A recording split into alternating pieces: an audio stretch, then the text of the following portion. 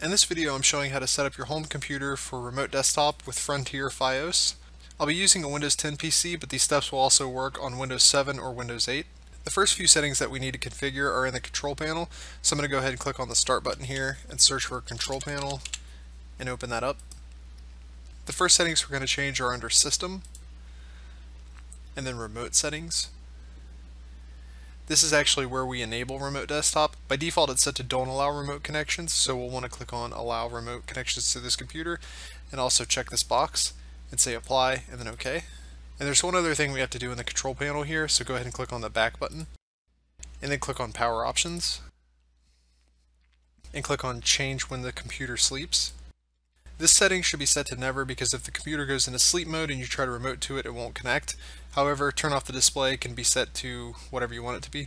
So that's all you need to do in the control panels. You can go ahead and close out of that. The next step is to configure your FiOS router to accept remote desktop traffic and to forward it to your PC. To do that, we'll want to open up a web browser.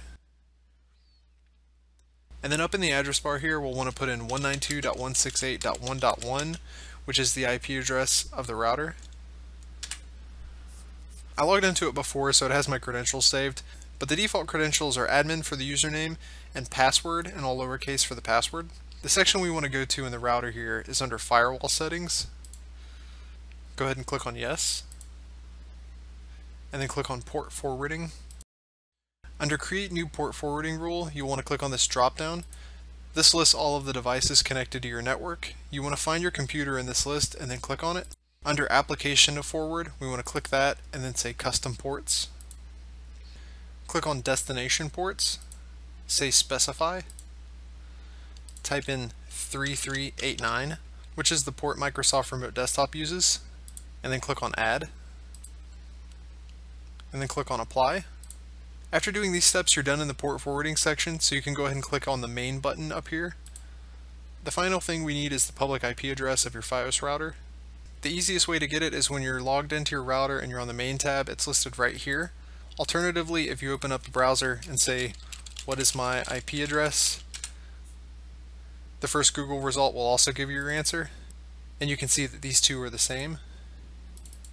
Although I am blurring out one of the numbers here so I don't have everybody remoting to my machine. So this IP address and your username and password for your computer is all you need to successfully remote desktop from somewhere else. All you'll do is copy this, save it somewhere, and then whenever you're at work or something, you open up the remote desktop app on Windows, paste it in here, and then connect.